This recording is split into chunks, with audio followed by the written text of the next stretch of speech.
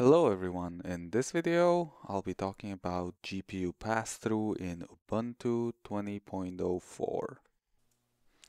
To get started you will need a processor and a motherboard that has VTD and VTX enabled if it's an Intel platform and SVM and IOMMU enabled if it's an AMD platform. Also, you'll need at least two graphics cards one of them can be integrated into the processor and the other one, any NVIDIA or AMD card should do. One caveat, the two cards cannot be exactly the same. First, let's identify the IDs of the GPU we want to use with our virtual machine. So let's open the terminal Let's become a super user. And let's type in lspci-nn. Okay, so this will show us the ID numbers of our all our devices. Here is the GPU I will be using, a GTX 950, and for most most of you, you will see something like this with uh, 01, I mean dot 0 and dot 1. Uh, for uh, people who use the RTX cards, they will see dot 2 and dot 3. What you really care about is only these two. The other two, Virtual Machine Manager will deal with that. So let's uh, copy this these two numbers, these two IDs, and let's save them. So we don't have you don't really have to save them. You can write them on a piece of paper and uh, just uh, type them in later when we need them but I'll be saving them. So this should be good enough for now. Uh, I will make another video later that details the IOMMU groupings and other things like that you have to be careful about when uh, choosing a graphics card for your virtual machine but for now this should be good enough. So let's get started on the actual GPU pass-through. Okay, so first let's install the required packages and you can just copy this line from the description as I did. So enter and yes. So these will be things like libvirt and some other stuff, the virtual manager, all the required stuff.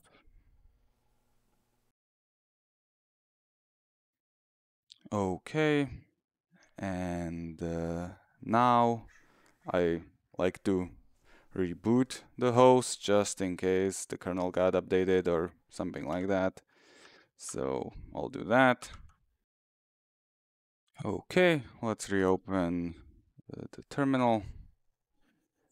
Let's become a super user again.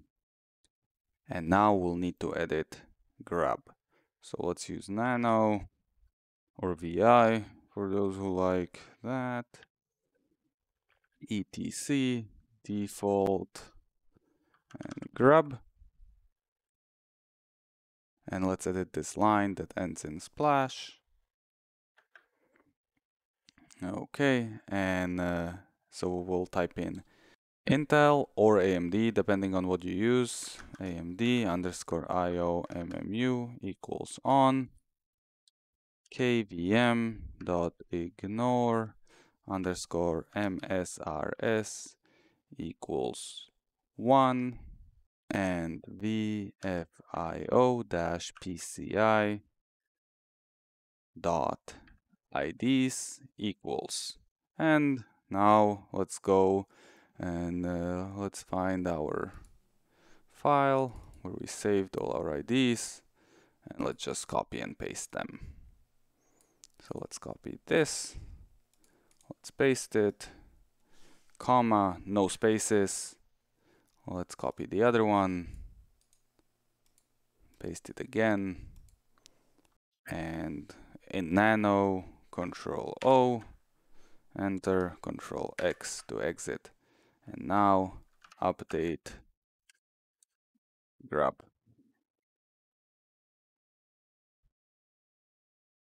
Okay, let's reboot. Okay, let's open up our terminal. Let's become a super user again. And let's type in lspci-k.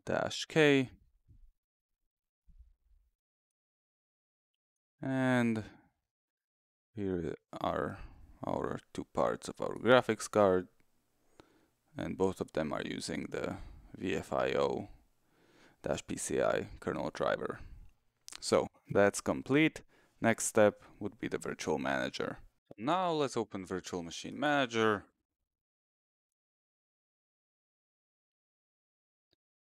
And let's minimize this.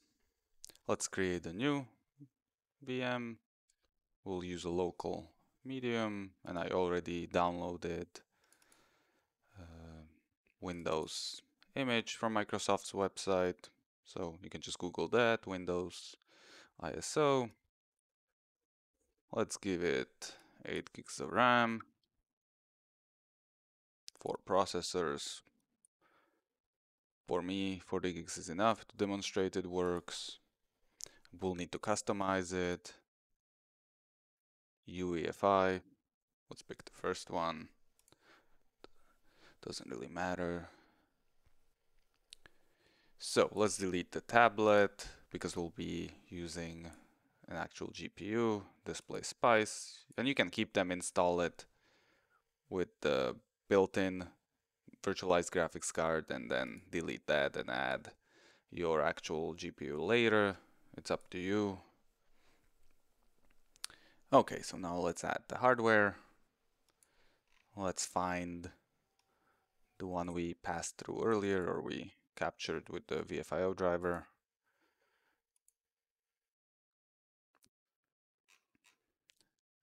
Okay. The two parts, if you have more than two, you can add the other ones too. You might have to. Uh, and uh, we need a USB controller for the mouse, or you can just pass through a mouse, a spare mouse you have, and a keyboard. And to pass through an individual USB device, you go right here, USB host device, pick your uh, mouse and your keyboard. So let's start with the mouse, hit finish, and then find your keyboard. And hit finish again, and you should have your two USB devices added to your virtual machine. In my case, I'll be passing through an entire controller, and I already know it's in its own IOMMU group.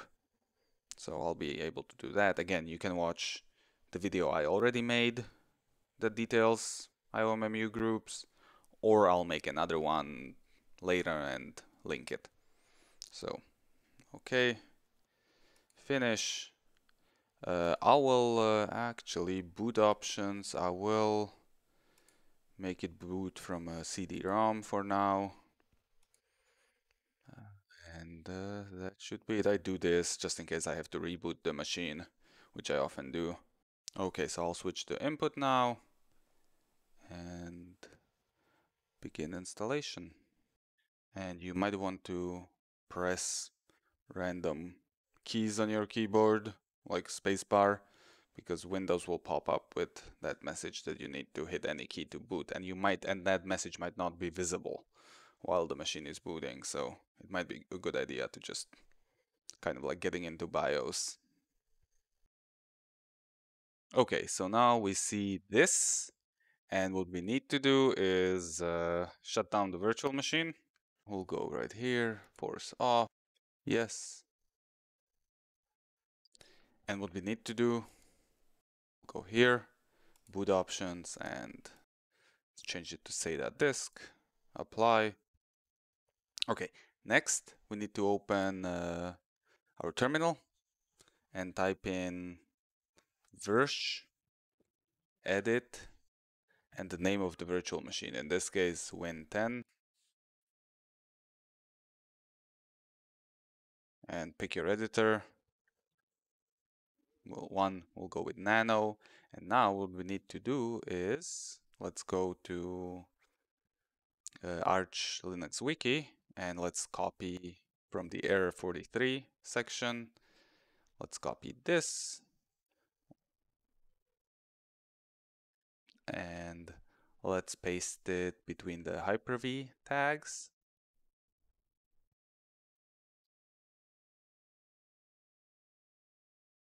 And then after the Hyper-V tags, we need to paste this KVM section. So let's go to where this ends, paste, and Control O, enter, Control X. That's done. And now we can start the virtual machine up again. So let me change the input. And let's start it.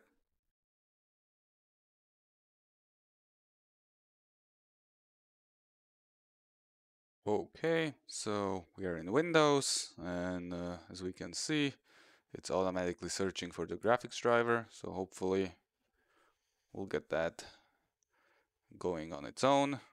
And there it is. If not, you can download it by yourself. It's still installing.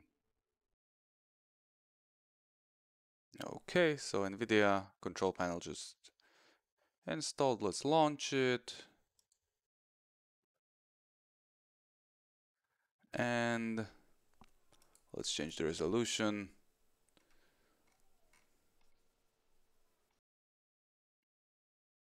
Apply. There we go, full 1080. Let's check the control panel.